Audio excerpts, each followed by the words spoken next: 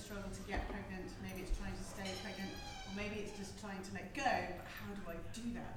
What makes me different is I've had my own 10 year journey myself, which in the end allowed me to have a child at the very tender age of 46.